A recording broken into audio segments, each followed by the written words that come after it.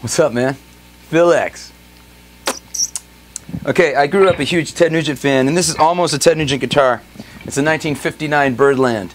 And the difference is, this is called the Florentine cut, and the Venetian cut is the pointier cut that uh, Terrible Ted used. And uh, so, anyways, this is uh, a thrill for me to play this guitar. I want to get a saw. No, I'm just kidding. um, it's uh, okay. Uh, it's 6.7 pounds, 23 and a half inch scale, medium neck profile. Seems actually closer to fat, but medium is always like that gray area.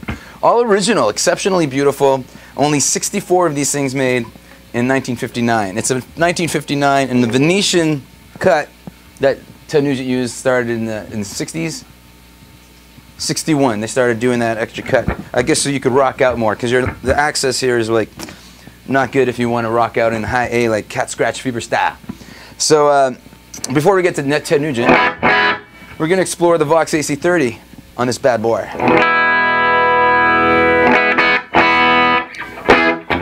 This is a treble pickup.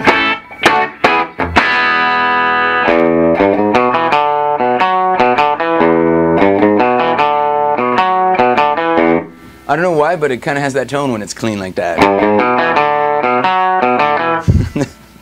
And this is middle position, two pickups here.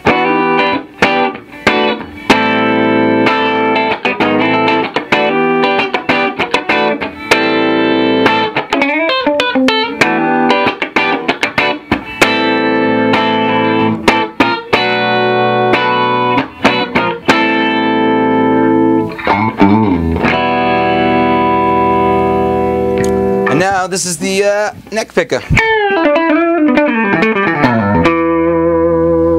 I brought a looper in here today because I've always wanted to jam with somebody in here, and there is nobody here to jam with. Actually, there's 400 people behind the camera, but nobody can play guitar or bass or drums. So, except for the looper, looper, looper, looper, the looper. Uh, and I, I discovered the looper today. I'm very not high tech guy. So this is the first time, no, this is the second time that I ever shot me using a looper in my life, which the first time was today. So uh, let's try this out here.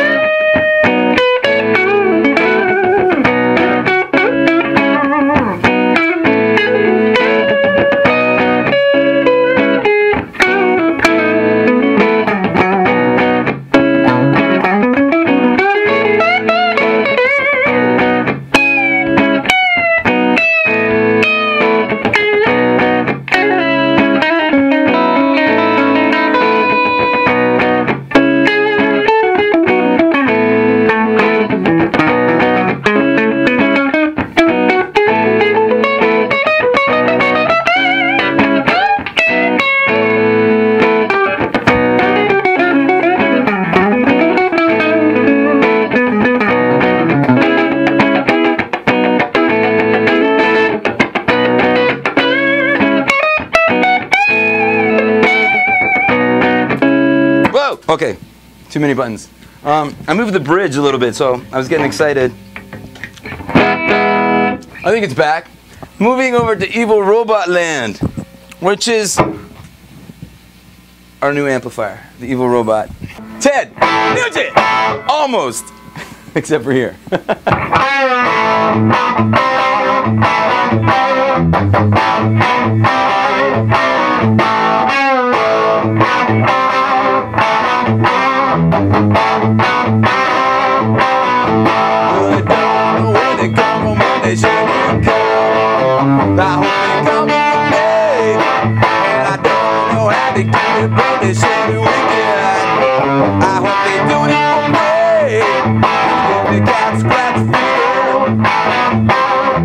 cat scratch fever.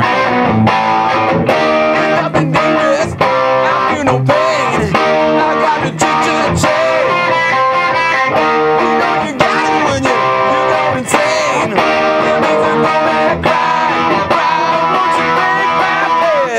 Yeah, Ted. Hold on a second. you know what Ted loved about Byrdlands is that you could really get them to feed back and you can really control it. And I'll show you. I'm gonna punch in the pedal here.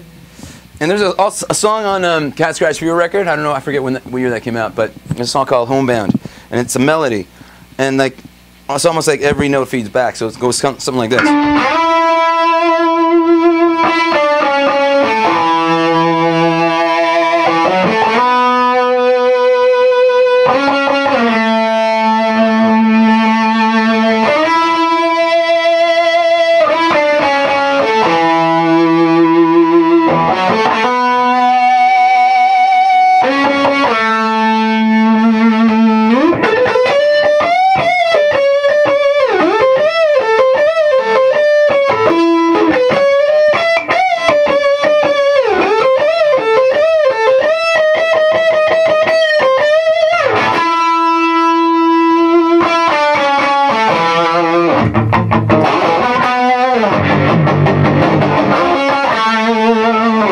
So you know what I'm talking about. It's that feedback thing. Everything kind of rings out. It's really beautiful. And did you hear that neck pickup?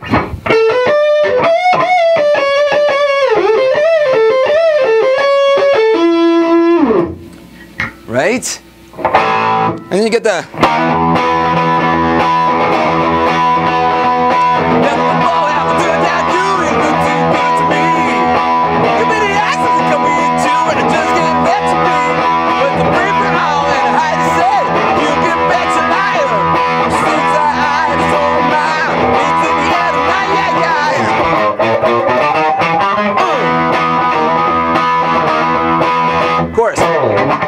Ooh, baby.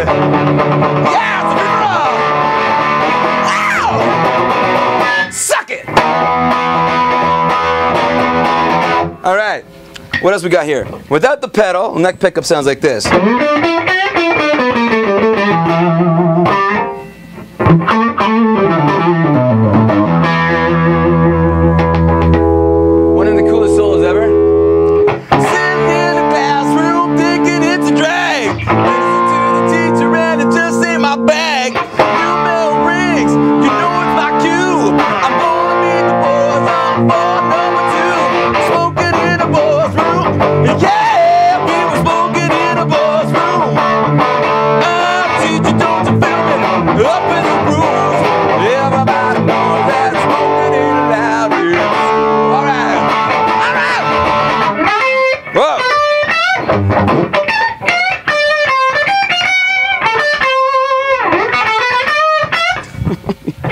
Let me do this solo one more time.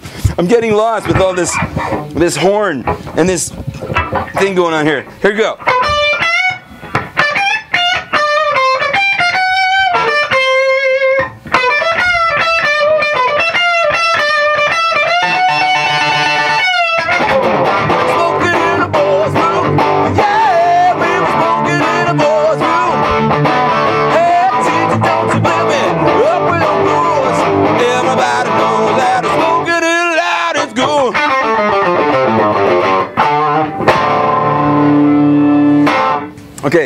Um, Brownsville Station. You're going, what the hell's that, Brownsville Station? That was the band that originally did Smoking in the Boys Room before Motley Crue covered it in the 80s. So yeah, a little bit of history for you. Anyways, awesome guitar, awesome amp, awesome looper. Phil X signing off. Thank you. Have a kick-ass day, baby.